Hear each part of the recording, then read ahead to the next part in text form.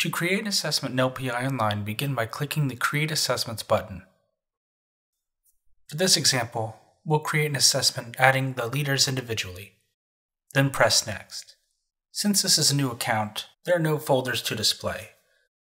Begin by clicking the Add New Folder button, entering the folder name and description that you wish to use. Save the folder and click the Select button to select the folder.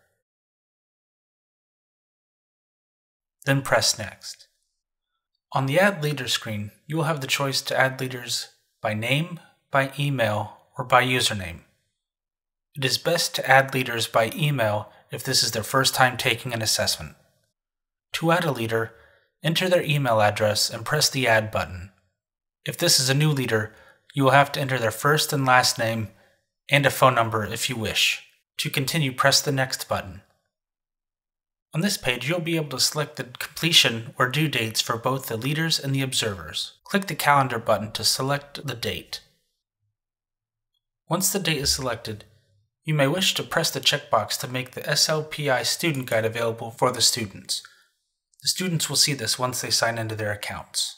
Once you've chosen the completion dates, press the next button.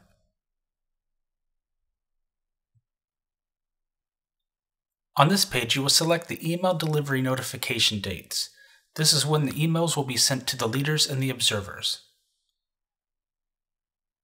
As on the previous page, click on the calendar icon and choose the date you'd like the emails to be sent. You may also wish to add a custom message to your leader. Please note that as you enter your message, it will show you how many characters you have left. On the lower portion of the screen, you will see an example email that will be sent to the leader. It will also show where the custom message will go as well as the dedicated LPI online link that your leader will use to access the assessment. It will also include the date as well as a link to our customer support site.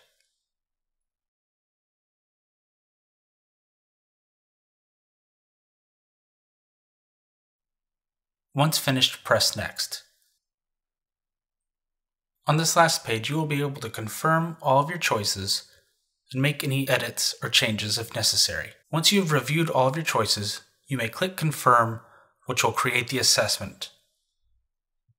Once the assessment has been created, you will receive a congratulations message letting you know that the assessment has been created and the appropriate number of tokens have been removed from the account.